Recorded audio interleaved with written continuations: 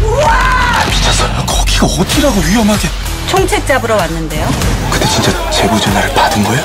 여보세요, 김덕희 씨. 야, 지금 너 나한테 또 사기치냐? 손대리가 제보를 하겠다고. 손대리 장난 전화한 게 아닌가? 나도 여기 붙잡혀서 억지로 하는 거라고. 세상에 깨끗한 돈, 더러운 돈이 어딨냐. 그냥 중국 가서 언니가 잡아. 진짜로 3일 만에 찾을 수 있겠니? 원래 주소가 72개거든? 72개는 절대 아니 된다. 72개는 아니지. 우리가 아홉 군데 돌았으니.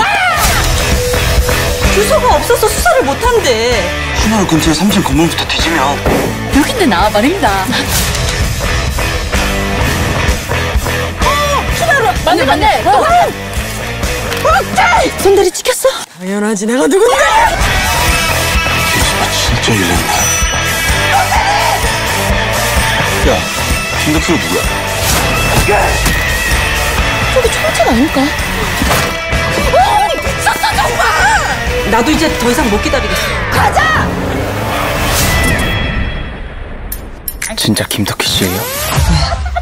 생각보다 너무 미인이야?